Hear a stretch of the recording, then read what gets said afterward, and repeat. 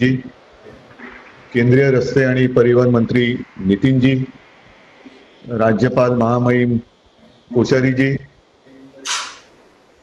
सर्वच व्यासपीठावरील उपस्थित मान्यवर वारकरी संप्रदायातील साधू संत बांधवानो भगिनीनो देवेंद्रजी सॉरी तुमचं नाव घ्यायचं राहिलं. महाराष्ट्रातले विरोधी पक्षनेते आमचे सहकारी देवेंद्रजी सर्वच उपस्थित मान्यवर बांधवांनो आणि नितीनजी एक खरोखर पुण्य काम आपण हाती घेतलेलं आहात. आणि आपण काही अपेक्षा व्यक्त केलेल्या आहेत महाराष्ट्र राज्य सरकारकडून. साहजिकच आहे ही जबाबदारी आपल्या सगळ्यांची आहे. गेले अनेक शतक ऊन वारा पाऊस रस्त्यातील काटे कुटे खड्डे खळगे यांचा कसलाही विचार न करता आपली परंपरा ही जोपासणारी आपले हे वारकरी मग त्याच्यातले अनेक साधू संत यांच्या मार्गावरती असलेले सगळे अडथळे दूर करणं हे आपलं कर्तव्य आहे. आणि या कर्तव्यामध्ये आपण पुढाकार घेतलेला आहात आणि मी जाहीर वचन देतो की महाराष्ट्र सरकारकडून कोणतीही कमी आम्ही कोणत्याही पावलावरती राहू देणार नाही. प्रत्येक पाऊल पावला पावला पावलावरती आम्ही तुमच्यासोबत राहू. या वारीचं दर्शन मी स्वतः घेतलेलं आहे. मी दर्शन घेतलं एवढ्यासाठी म्हणतोय कारण आपल्याला बहुतेक जणांना कल्पना आहे की काही वर्षांपूर्वी मी स्वतः ही वारी आणि त्या वारीची फोटोग्राफी हेलिकॉप्टर मधून केली. मोदी जी सच कहता हूं जैसे मान लो की एक भक्ती सागर आगे जा रहा है.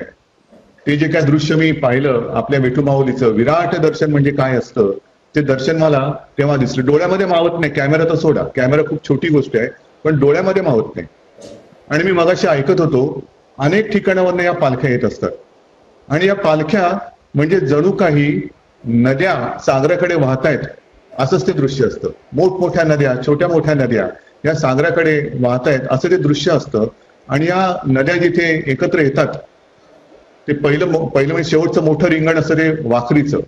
नितीनजी ही गोष्ट आपण एक अत्यंत चांगली केली अत्यंत चांगला निर्णय केला की वाखरी ते पंढरपूर हा महामार्ग सुद्धा हा मार्ग सुद्धा मोठा करण्याचा निर्णय घेतला. हा अतिशय महत्त्वाचा निर्णय.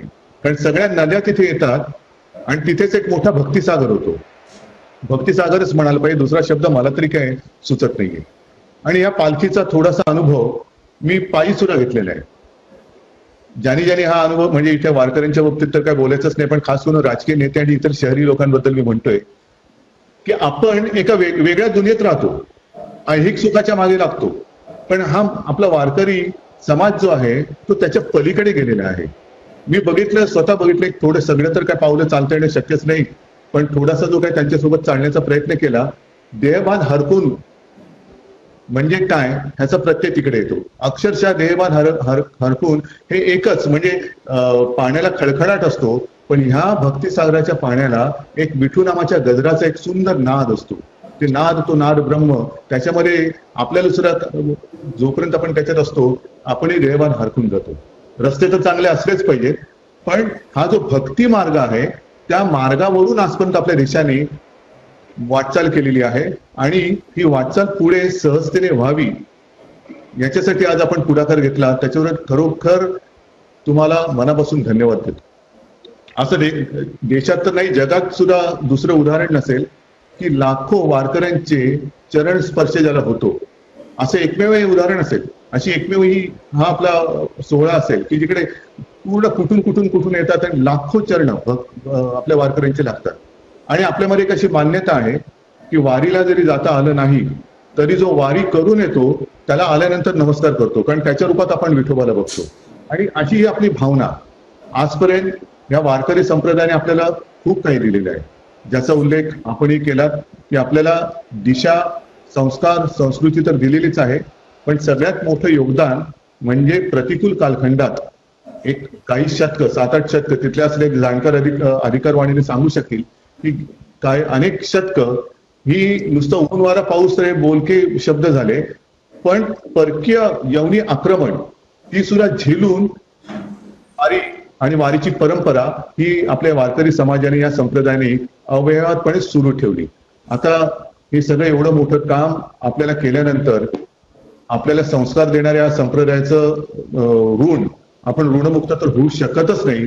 त्यांच्या ऋणातच राहून कारण त्यांचे आशीर्वाद आपल्याला पावलं पावली पाहिजेत.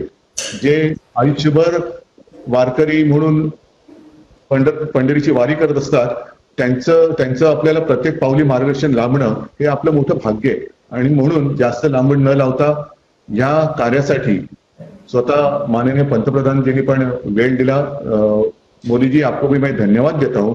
आणि हे काम लवकरात लवकर पूर्ण होण्यासाठी मला खात्री आहे. विठू माऊली हा आशीर्वाद दिल्याशिवाय राहणार नाही. अशी आशीर्वादाची एक वाटचाल संस्कृतीची वाट संस्कृतीची वाटचाल ही अधिक सहजतेने व्हावी. त्याच्यासाठी ह्या घेतलेल्या कार्यामध्ये पुन्हा एकदा सांगतो महाराष्ट्र प्रत्येक पावली आपण राहिल्याशिवाय राहणार नाही. धन्यवाद. जय हिंद जय महाराष्ट्र. बात हम देखेंगे इस परियोजना की एबी फिल्म.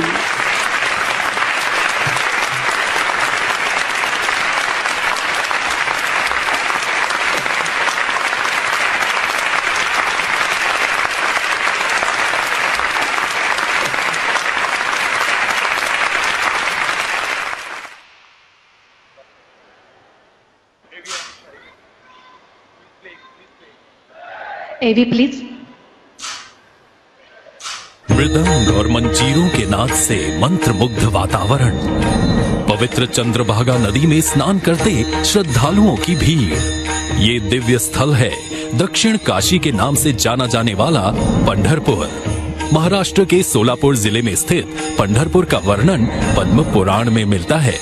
मान्यता है कि पंढरपुर में ही भगवान विष्णु ने पांडुरंग रूप में भक्त पुंडलिक को दर्शन दिए थे और उनके आग्रह पर एक ईट पर 28 युगों तक खड़े रहे। पंढरपुर में हर साल चार बड़े मेले लगते हैं। इन मेलों में देश भर से लाखों की संख्या में श्रद्धालु जुटते हैं, जिन्हें मराठी में वारकरी कहा जाता है।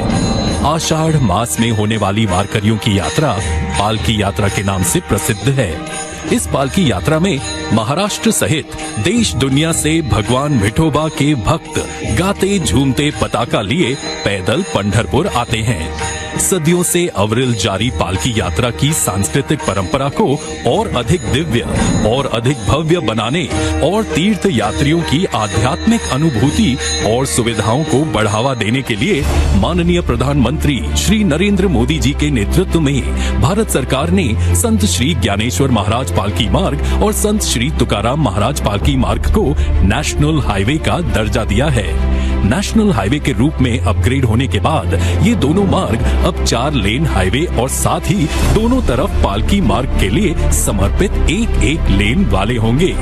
इससे वारकरियों के लिए पालकी यात्रा सुविधाजनक होगी। साथ ही आसपास के क्षेत्रों के सामाजिक, आर्थिक तथा व्यापारिक प्रगति को भी नई गति मिलेगी। श्री संत ज्ञानेश्वर महाराज पालकी मार्ग की लंबाई 221 किलोमीटर होगी, जिसे करीब सड़सठ सौ करोड़ रुपए की लागत से विकसित किया जाएगा। ये राजमार्ग पुणे के पास दिवेघाट से मोहोल तक विस्तृत होगा।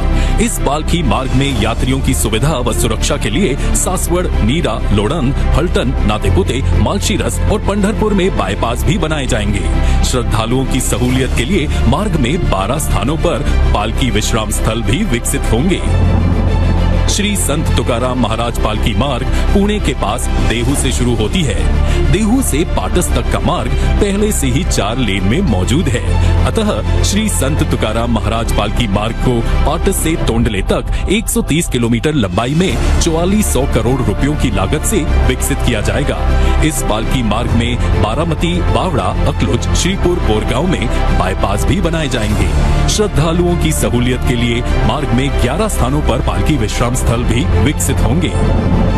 इन दोनों पालकी मार्गों का भूमि पूजन माननीय प्रधानमंत्री श्री नरेंद्र मोदी जी आज कर रहे हैं। इन परियोजनाओं से पुणे से पंढरपुर तक की यात्रा अधिक सुखद, सुरक्षित और सुविधाजनक होगी।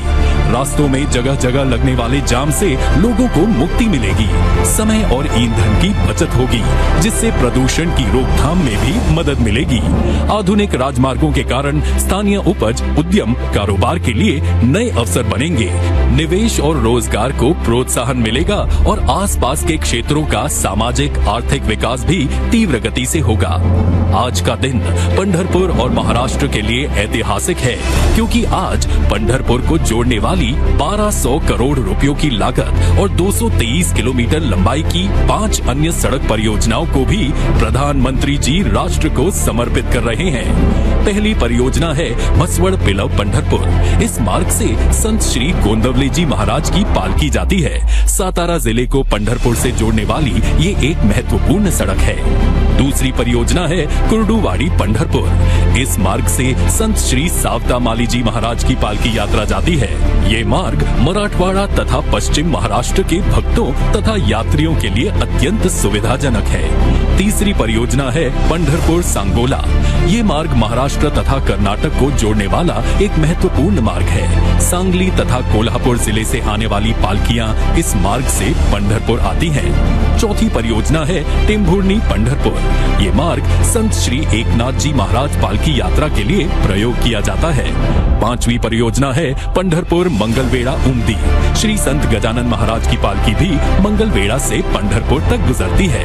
ये सभी पाँच परियोजनाएँ, पुणे, सोलापुर और सातारा जिलों के तीर्थालुओं सहित किसानों, कारोबारियों, उद्यमियों और युवाओं के लिए विशेष लाभप्रद होंगी और उनके लिए नई संभावनाओं के द्वार खोलेंगी। सदियों से चली आ रही पालकी यात्रा को और भी सुविधाजनक एवं सुरक्षित बनाने का जो महान संकल्प माननीय प्रधानमंत्री जी ने लिया है, वह संत श्री ज्ञानेश्वर महाराज तथा संत श्री तुकाराम महाराज और श्री विठोबा भगवान के आशीर्वाद से अति शीघ्र पूरा होगा। और भगवान विठोबा के पंडरपुर में भक्त जन इन पालकी मार्गो से नाचते, गाते, झूमते और अधिक संख्या में आएँगे। जय हरि विठल